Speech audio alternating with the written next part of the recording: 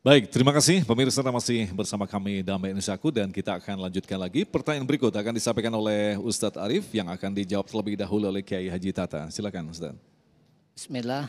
Uh, Assalamualaikum warahmatullahi wabarakatuh Ustadz. Mau bertanya Ustadz, implementasi bulan Rajab dan Sya'ban yang lebih spesifikasi lagi, kemudian batasan-batasan orang yang mempunyai hutang piutang pada bulan Ramadan, apakah uh, boleh terbayarkan sepekan sebelum bulan Syaban karena terdengar uh, ada batasan-batasan dalam berhut dalam membayar hutang tersebut. Sekian Ustaz.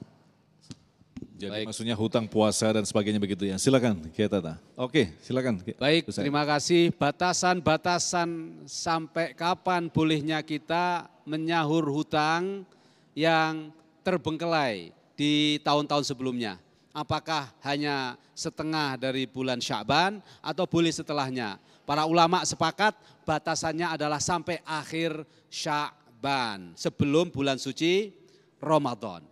Tetapi untuk ikhtiat, untuk hati-hati, para ulama mengingatkan batasan harus diwaspadai pertengahan Syaban atau nisfu Syaban.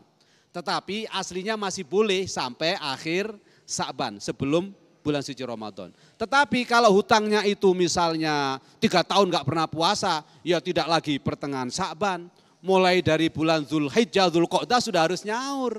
Karena tiga bulan itu sudah melewati bulan Rejab, bulan Sya'ban.